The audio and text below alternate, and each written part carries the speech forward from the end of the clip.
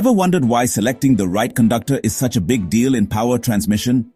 It's because a major chunk of the investment in transmission lines goes straight into the conductors.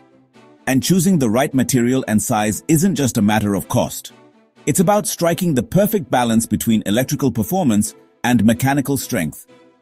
Now, for a material to be considered suitable for transmission and distribution of electric power, it should tick a few very crucial boxes. It must have high electrical conductivity, strong tensile strength to endure mechanical stresses, be low in cost so that it can economically cover long distances and have a low specific gravity to keep the weight in check. But here's the catch. No single material satisfies all these conditions perfectly. That's why we always need to compromise between cost and the desired electrical and mechanical properties when selecting conductor materials. Let's talk about the materials commonly used for overhead conductors. You'll frequently come across copper, aluminium, steel cored aluminium, galvanized steel, and even cadmium copper in certain applications. But before we dive into those, there's one thing you should know. All overhead line conductors are preferably stranded. Solid wires are only used when the cross-sectional area is small. If you use solid conductors with large cross-sections over longer spans, you risk mechanical fatigue and eventual fracture due to constant vibration and swinging.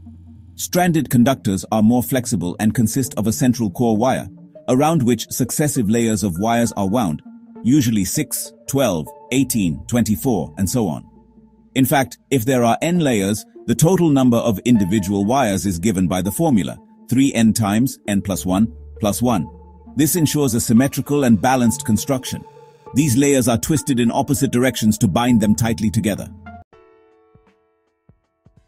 Now, let's start with copper. This metal is almost the gold standard when it comes to conductors' high conductivity, excellent tensile strength, and very durable. It's used in the hard-drawn form to boost tensile strength even if it slightly compromises conductivity. Copper has a high current density, meaning you need a smaller cross-sectional area to carry the same current. That leads to two big benefits less material needed and lower wind pressure acting on the conductor. It's durable, homogeneous, and has high scrap value too. But then comes the cost. Copper is expensive and not always readily available. That's why aluminium has taken its place in most modern applications. Aluminium is cheaper and much lighter than copper. However, it has only about 60% the conductivity of copper. That means for the same power transmission efficiency, the aluminium conductor must have a larger cross-sectional area. If you want the same resistance, an aluminium conductor needs to be about 1.26 times the diameter of a copper one.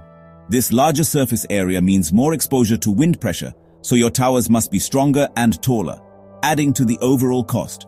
Yet aluminium's low specific gravity, just 2.71 grams per cubic centimeter compared to copper's 8.9 grams per cubic centimeter, means it's nearly half the weight of copper, so lighter support structures can be used.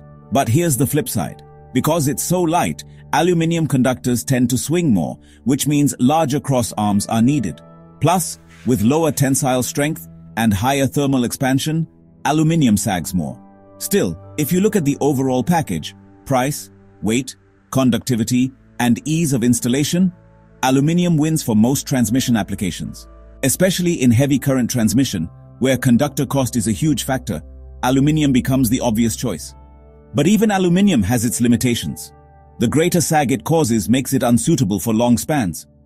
And that's exactly where steel-reinforced aluminium comes in, also known in the industry as ACSR, or aluminium conductor steel reinforced. Now let's dig deep into this one, because this is where the magic happens in overhead transmission. The ACSR conductor consists of a central galvanized steel core, surrounded by strands of aluminium. The galvanization prevents rusting and corrosion, making it ideal for long-term use in open environments. Typically, the cross-sectional ratio of steel to aluminium is 1 to 6, but this can be increased to 1 to 4 if more tensile strength is needed. Here's a fun fact. Even though you're adding steel, the overall weight of the composite ACSR conductor is still 25% less than an equivalent copper conductor. That's a huge win in terms of material handling and tower design.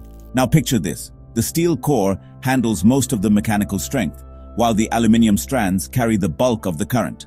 This clever distribution makes ACSR perfect for long-distance high-voltage transmission. You might have even heard these conductors by their trade names in the field. Zebra, Panther, moose, dog, or even rabbit, each representing different configurations tailored to specific current and voltage ratings across transmission systems. Because ACSR has higher tensile strength, it allows for longer spans with smaller sag, meaning fewer towers, less cost, and easier maintenance. In fact, because of the reduced sag, you can even go for shorter towers, which again adds to the cost advantage. Next, we have galvanized steel conductors. They're used in rural areas or short spans where high mechanical stress is expected, but electrical conductivity isn't a major concern. Steel has very high tensile strength, so it works great for very long spans or unusual terrain. But due to its low conductivity, you can't use it to carry large power over long distances. Still, in short, low-demand rural lines, it gets the job done affordably. And finally, let's touch upon cadmium copper. This is basically copper alloyed with a small percentage, about 1 to 2% of cadmium. That small addition boosts tensile strength by nearly 50%, while only reducing conductivity by 15%. That makes cadmium copper ideal for very long span applications, where you need strength but still want decent conductivity. However, cadmium is expensive, so this material is used only in small cross-sectional lines where the support cost outweighs the conductor cost. So now the question goes to you. Which conductor type do you think best balances cost, strength, and performance for overhead transmission lines? Have you ever come across names like Zebra or Panther in real-life installations? Tell us in the comments below. We'd love to hear your thoughts. If this video helped you understand conductor materials better, don't forget to like, share, and subscribe to Electrology. And if you'd like to support the channel, you can hit the thanks button or become a channel member by clicking the join button below. We'd really appreciate it. Until next time, keep learning and stay electrified.